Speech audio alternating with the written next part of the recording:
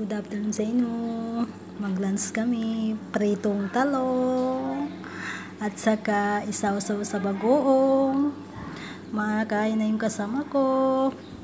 Bumili rin kami ng Pepsi. So yan, nag-white rice kami ngayon. So yan, isasaw-saw sa sarjet, tomat, kamatis, sibuyas. So yan ang bagoong. Yan ang bagoong na sauce namin. Yan, nilagyan ko na yan ng vinegar.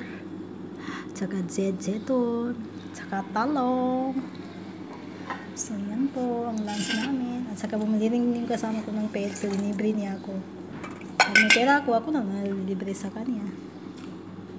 So yan.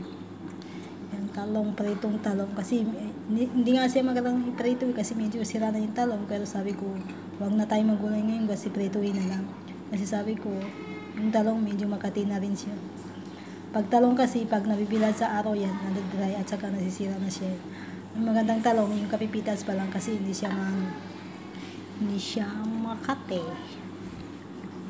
Yung press pa lang siya. Yung ka, ano pa lang.